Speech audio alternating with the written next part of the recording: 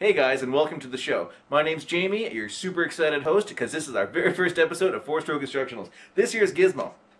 He's looking for treats right now. Anyway, I'm not going to waste a lot of time on long introductions because this show is covering something very important. It's something every new filmmaker needs, and that's a microphone.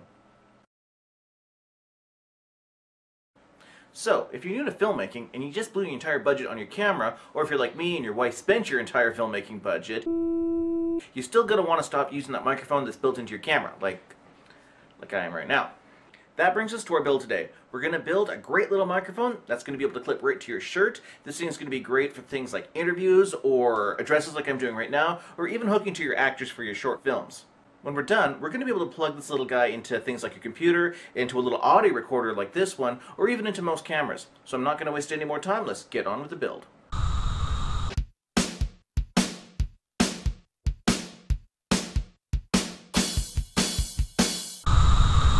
My parts list includes a computer microphone which I got from the dollar store, a 3.5mm headphone jack I found in my parts bin. I also used an alligator clip, a business card, a spool of thread, heat shrink tubing, a lighter, electrical tape, and because I didn't have black electrical tape, a Sharpie.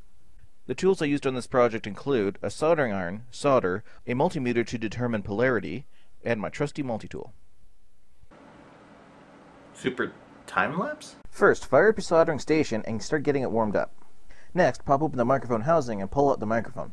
Grab your soldering iron and start removing the cables, taking special note of where the positive and negative terminals are. Take a close look and make sure there's no cross-contamination and that no solder is touching the outer metal housing. You can use the cable that your microphone comes with, but mine was way too flimsy and I didn't think it was going to be durable enough. So I dug around in my parts bin until I found a beefier cable, and this one already had the end I needed. I stripped off the wire and the insulation and separated the individual wires. I also stripped off a little bit of the insulation from both the left and the right channel wires. At this point, I used my multimeter to confirm the polarity. It was a lot like this diagram here, and yours should be very similar. I cut myself a piece of heat shrink tubing, and I slipped it down the cable. Now remember, if you forget this part, you won't be able to use the heat shrink tubing. I wanted to have the microphone sound come out of both the left and the right channel, so I twisted the wires together and I tinned the tips. Now it's time to reassemble everything. Solder your new wires to your microphone and make sure that you don't get the microphone too hot. Also make sure that no solder comes in contact with the outer housing.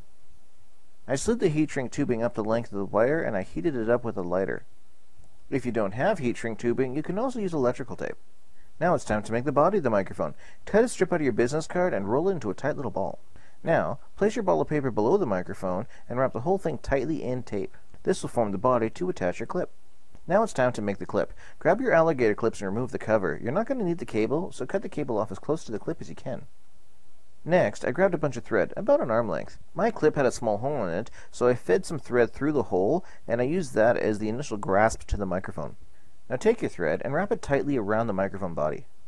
Once all the thread has been used up, tie several knots onto the end and clip any loose ends. So as you know, I didn't have any black electrical tape, so I used a Sharpie to color the whole thing black. And there you have it. Your DIY lapel mic is done. So the microphone's complete. I've already taken it outside to test it, and I bet you're wondering how it sounds like. And as you can hear, the thing actually sounds pretty good. Now, as I was saying, I was outside testing it, and I found out that it was picking a lot of wind noise up. So I built myself a little windsock out of the finger of a children's glove, and it seems to be working pretty good. Anyway, keep in mind that this is not a perfect solution, and you're wanna gonna you're gonna want to upgrade this as soon as you can. But until you do, it's definitely going to increase the quality of the audio in your films, and that's what's important.